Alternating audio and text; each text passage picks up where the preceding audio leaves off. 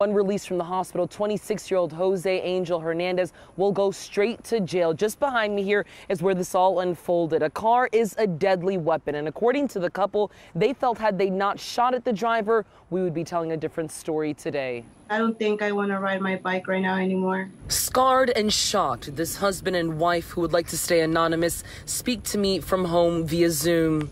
Well, we, me and her ride every day. A ring video from a neighbor's home captured the group riding past here on Jefferson Avenue in southwest Houston.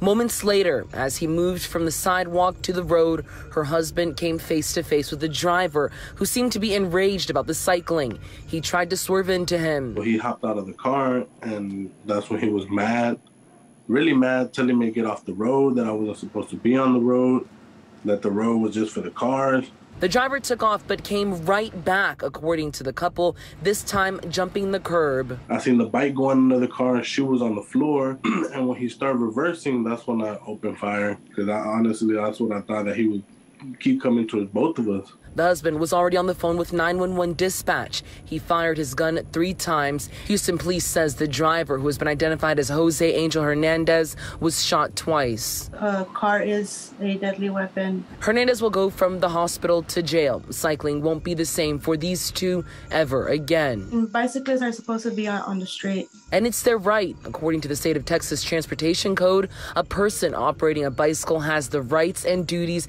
applicable to a driver operating a vehicle, with some stipulations. But even so, this couple says the driver's actions were reprehensible, especially when deciding to come back and target them on the sidewalk. I was scared. Um, it's it's sad when you know when people do that to to people who are just trying to ride their bikes.